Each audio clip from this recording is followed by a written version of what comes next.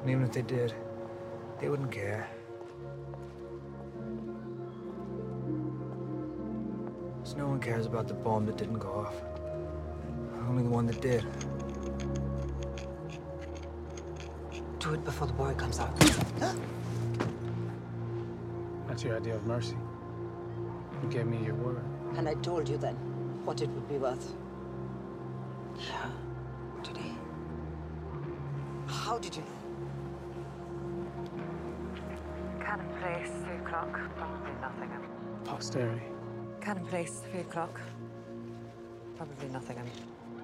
I told you you'd have to start looking differently at the world.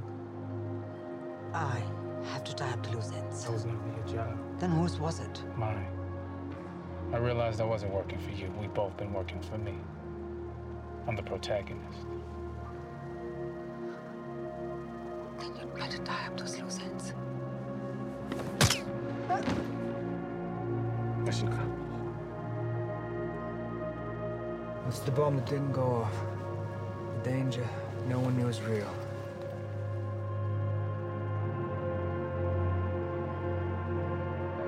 That's the bomb with the real power to change the world.